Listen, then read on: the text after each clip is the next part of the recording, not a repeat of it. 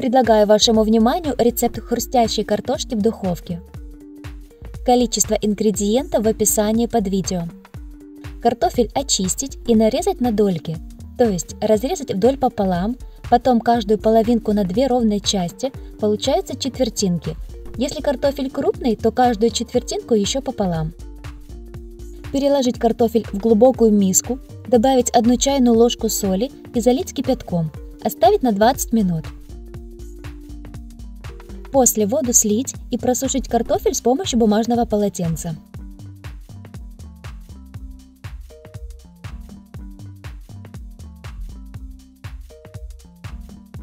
Переложить картофель в пакет. Добавить 2 столовые ложки растительного масла и хорошо перемешать.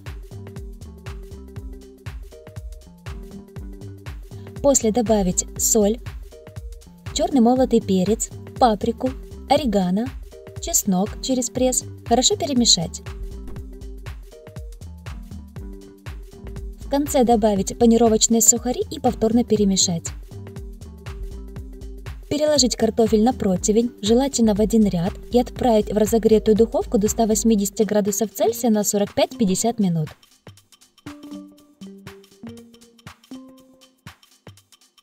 Перед подачей на стол по желанию добавить зелень укропа. Благодарю за внимание, всем удачи!